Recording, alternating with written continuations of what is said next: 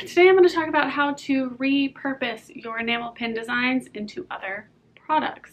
This is something that's really important for me. I know I like to diversify. I like to have different price points in my shop and uh, this just helps uh, to sell more and uh, appeal to a wider audience with the same artwork. So when you have an enamel pin design, you have a vector design. You have a flexible design that you can use in lots of different mediums. So first and foremost, number one, stickers. Wizard, and a wizard sticker. So you have like a, a $10 product and a $4 product. Someone might like both and get them both, which is awesome.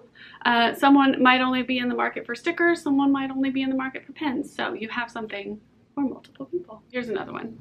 I've got the sticker version and the pin version. Stickers are a really easy way to branch out and have something low cost in your shop for people to pick up. You can do um, vinyl cut stickers. You can also do sticker sheets or planner stickers as well. That way you have like kind of multiples on a page and they're not all weather. Another thing you can do is washi tape. So this is my gnome washi tape. And here I just have all the different pin designs all lined up in a row. Washi tape is really great because you can just reuse the same illustration, do it over and over and over and over again, just on repeat. Um, or you can add to the illustration. So I have a few examples of that as well. Here's an example. I have this little um, skull that I love and I used this skull and um, these cats and candy corns in lots of different ways. We've got my enamel pins. So this was the first one that I did. And I had this pumpkin from a previous design. I did the skull for this, I think, and then the cat from the previous design of my tree. And then I just made another one. So I guess this is, the next one is make more pins out of it. so you can kind of rearrange, reinterpret, and have kind of a cohesive set. A lot of people get the two of these together, which makes me happy because they were meant to be friends. And the stuff was used in that washi tape as well. And I reuse those elements here too. So I have the cat design with the pumpkin and the cat design with the same candy corn and they're super cute. So some person might really like uh, glitter pumpkin, some would rather have a candy corn, and yeah, have lots of different variations in your shop. And while we're talking about the skulls, let's also talk about keychains. So keychains you can do a couple of different ways. You can have a metal keychain or um, an acrylic keychain. Acrylic ones Generally, you can do a lower uh, minimum order, which is nice, but if you have a pin maker or a pin manufacturer that you really like, they can generally do keychains as well, so you can add that onto your order. It'll be probably a little bit more than a pin would to produce because obviously you've got more hardware and stuff like that, uh, but it depends on your manufacturer and all the specs in your keychain. This one is that same skull design, but I made it big and glittery and I love it. I also have this skull design on its own as a smaller pin too. Like I love this skull and it makes me so happy so I'm to put it on everything. Speaking of everything, you can also do stud earrings. A lot of pin manufacturers will um, do stud earrings as well. You just want to be sure that you find one that can do hypoallergenic or um, just specific, make sure you know the metals that they're using in their um, earrings. That's a very important thing to check up front. But yeah, it's the same little thing. So you can reinterpret a design in so many different ways. And this is great because people can have like matching sets. Like you can be wearing your skull earrings with your skull keychain and have a skull pin. And like, I don't know, it's a whole fun outfit, I think. Another thing you can do is use notepads or sticky notes. The notepads I have, I haven't reused. Um, anything. I've made new ones, but it's really easy to add those elements from your pins to a notepad design or a sticky note design.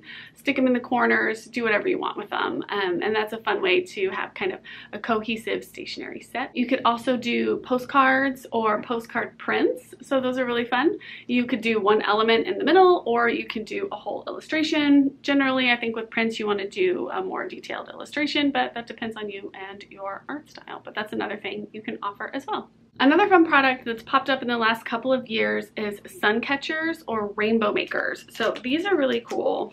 I've had this one in the shop for a couple years, a year, I don't know. I've had it for a while. These are really fun because you can take them when you take them off, put them on a window, and they're basically like prisms. That's really cool. So I have the instructions on the back, and um, this was made from this design, this little kitten.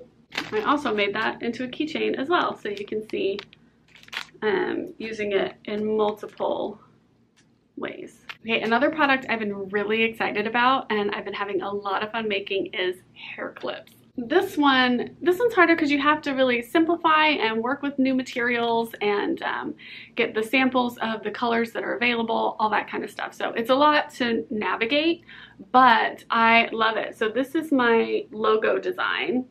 And I also have another one that's just the cat head design. And you can see I use it on, I sell this washi tape too, and I use it to, um, to package my orders. And then this is the pin version that I use. Too much stuff. this is the pin version that I will give away for free sometimes um, in my shop.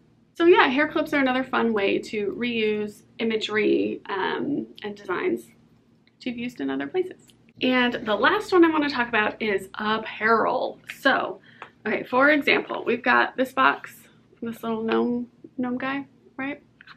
and we made him into a washi tape. We just alternated black and white designs on a teal background for the washi tape for him. But I also, I got a heat press machine. I don't know, I'm just messing around, you guys. We've made gnome shirts before and all we did was take the image. It was basically just this, the sticker on a t-shirt. So we had it on a teal t-shirt to match this color. And uh, so you can either put a design just straight on a t-shirt right like that in the middle. You could also do like a repeating pattern and do like a print all over situation. I know M & Sprout does that for a ton of stuff and it's so cute. Another way you can reuse stuff is uh, for along the lines of apparel is like socks. you can get socks made with that so you can have a simple design repeated all over and uh, or just have a little design just on the top of the sock and um, you can also do uh, beanies the same way a lot of people sell beanies as well so take that one design and stick it right in the middle or you could have it woven and do a repeating pattern um, all around. There's so many ways you can, obviously so many ways you can incorporate your pin designs into different apparel. Um, which I think is really fun. Oh, I just remembered. You can also do more jewelry. So I have the earrings, you know, but you can also do pendant necklaces really easily. You can have matching sets of earrings and necklaces or uh, just go wild with uh, pendants as well. If there are any other ways that you've reused your pin designs in other products, let me know. Um, I've also used it in a floaty pin before. I'm, i made a glitter light up floaty pin a couple years ago. It's pretty great. Um, so there are lots of ways to reuse your designs and, um, and put them on other products. So if you've done other stuff, let us know in the comments because it's just really great to know what's possible. Um, and if you liked anything on this list, uh, let me know. Let me know what you want to try. I would love to chat about it in the comments. So yay, happy making. If you like uh, product videos, pin videos, stuff like that, be sure to give me a subscribe and a like and all of those things that I'm supposed to say at the end of a video. And yeah, I hope this was helpful and I'll see you next time.